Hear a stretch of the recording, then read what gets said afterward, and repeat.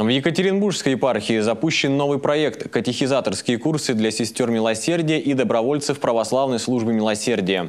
Отдел социального служения, отдел религи- религиозного образования и катехизации объединили усилия в деле духовного просвещения.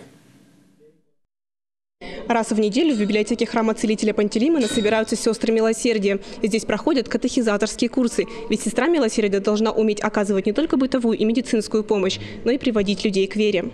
Милосердие может проявляться на разных уровнях. Накормить, помыть, сделать перевязку – это очень нужные добрые дела, но самые простые, которые могут осилить и неправославные социальные службы. Пообщаться по душам, поддержать человека психологически, потерпеть его душевные немощи уже сложнее. Здесь требуется собственный душевный мир, который без церковной помощи сложно сохранять. Но есть и еще более высокий уровень проявления милосердия. Это забота о духовном выздоровлении подопечного, о спасении его души. За родителей укрепить в душе человека веру, помочь ему задуматься о смысле жизни и обратиться всем сердцем к Богу – это самое важное в работе православной сестры милосердия. Чтобы сестры могли оказывать квалифицированную духовную помощь, готовить подопечных в больницах и на дому к крещению, исповеди, причастию, просто отвечать на вопросы, связанные с верой, отдел социального служения и отдел религиозного образования и катехизации Екатеринбургской епархии организовали трехмесячные катехизаторские курсы. Первый набор составили сестры патронажной службы и добровольцы, готовящиеся им помогать. В 2012 году в православной службе милосердия прибыло целых 18 новых сестер. А сейчас их общее количество составляет 40 человек. И эти курсы а, послуж- послужат несколько, несколько целей у этих курсов. Сестры разных возрастов, они в разное время пришли в храм, у них разный уровень воцерковления. Вот, поэтому одна из задач это именно а, повысить общий уровень знания сестер.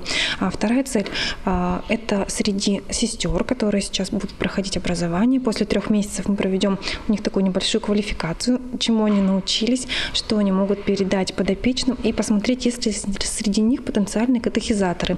Это те люди, которые смогут уже в патронажной службе на дому, в больницах, в детских учреждениях проводить небольшие занятия. Люди задают различные вопросы, и у них э, какие-то свои возникают потребности, которые бывают и неожиданными, и видно, что, в общем-то, надо сестре быть разно- разносторонне, как бы грамотной, почувствовать, что человеку сказать, чтобы он вот именно повернулся к Господу сердцем своим. Нам важно человека приготовить к жизни вечной, к жизни вместе с Богом.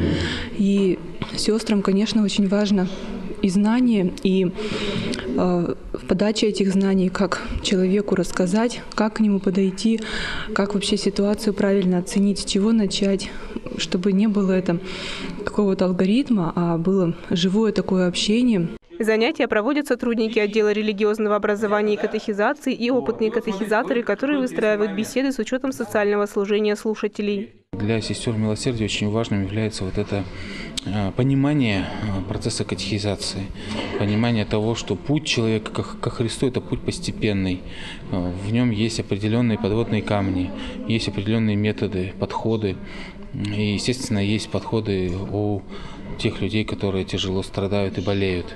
И вот об этих, о всех этих вещах мы стараемся как-то на наших курсах, на нашем обучении как-то это подчеркнуть. Следующими на катехизаторские курсы отправятся сестры и добровольцы направления «Помощь детям». Планируется, что курсы будут проводиться регулярно, ведь в православную службу милосердия постоянно приходят новые люди, готовые послужить ближним.